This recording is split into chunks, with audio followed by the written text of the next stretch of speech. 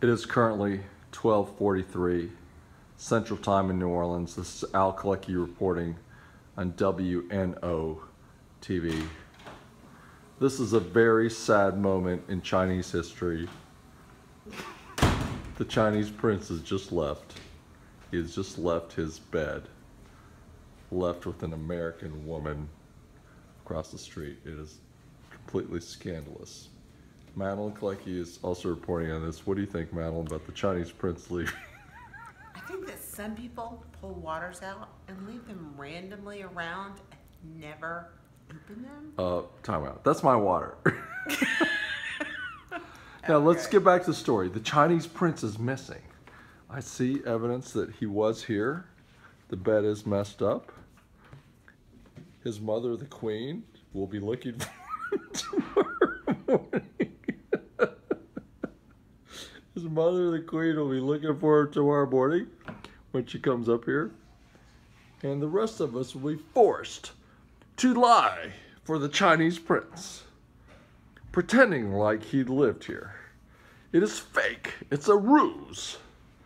It's a sham, and I will no longer take part in this type of thing. You're so funny yourself. Are you gonna drink this or should I put it up? I'm sorry, this is a historic moment here. It's yours.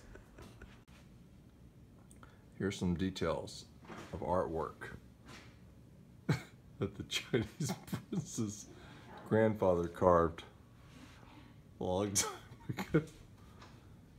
His grandfather and his great grandfather worked on this bed. And the freaking Chinese prince just refuses to sleep in this bed.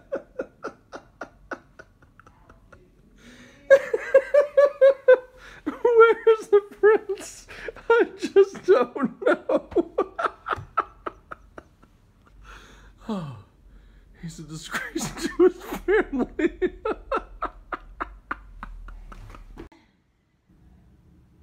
Folks, we've seen this before in Vietnam, Cambodia, Cambodia, but never a Chinese prince acting in this way.